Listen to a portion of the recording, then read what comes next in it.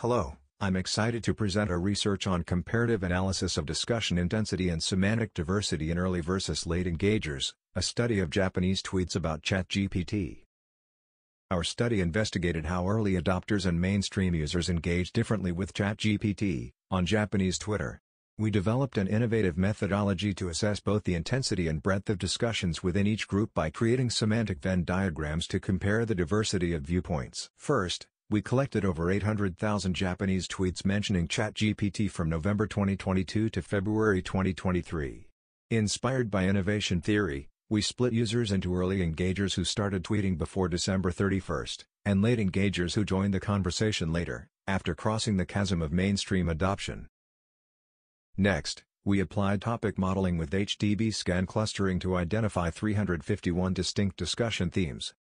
We found that while late engagers produced more total tweets, early engagers were more individually engaged with a higher average tweets per person on each topic.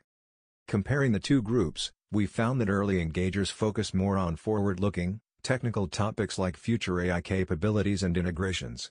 Late engagers, in contrast, concentrate on the current applications and practical implications of AI, including its integration, benefits, and impacts on various fields. This led us to ask, for each topic, which group discussed it more broadly. To answer this, we developed a novel methodology.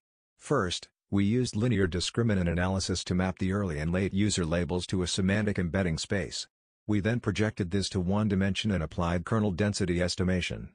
Finally, we calculated the overlap of 95% probability density areas to assess the proportion of shared versus unique perspectives within each topic.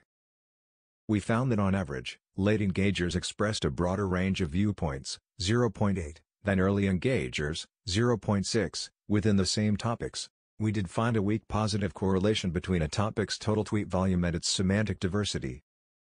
However, even after controlling for this difference in volume, Late engagers still tended to discuss topics more broadly than early engagers.